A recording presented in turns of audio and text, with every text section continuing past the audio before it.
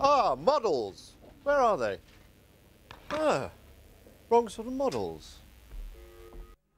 But the right kind of models if you're into cars. Well, we sell model cars, as you can see. Shop's been here for something like 25 years in Right. St Martin's Lane, so we're quite established. Um, we mainly deal in models for the collectors, specialist stuff. And you can get virtually anything that anyone would want. If I said Bristol 403, 401, 403 model, We'd say no, actually.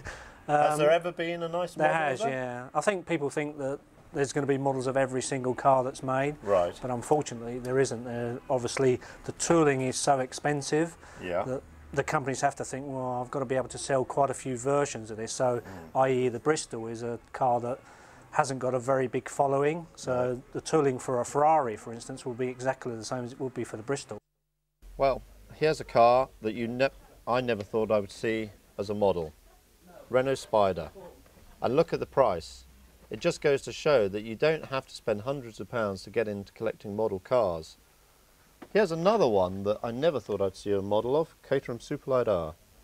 All for a bargain price. They have a system called photo etching, mm-hmm. which is very, very fine pieces of metal that they can make windscreen wipers and spoke wire wheels so fine that they're they're actually in scale to the size of the model in comparison. And also, over the years, paint technology has got much better.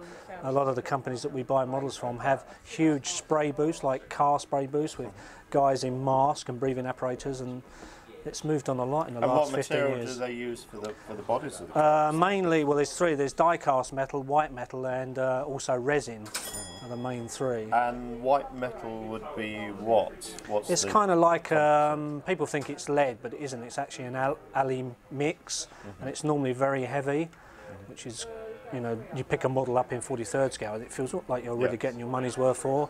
Whereas resin ones are extremely light, but they, for some unknown reason, can get really, really good detail in resin models. Just to show the variation in metal ready built cars that children from six years upwards could actually play with, I have an Audi TT Roadster. Not even available in this country yet.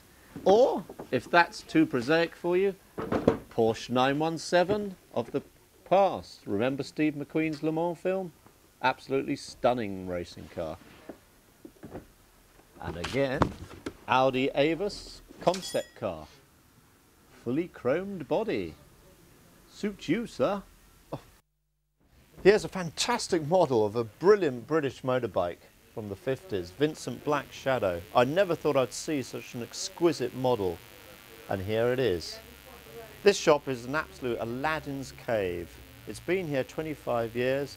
Long may it continue for another 25 years. This is Richard Fiennes on Fiennes Finds.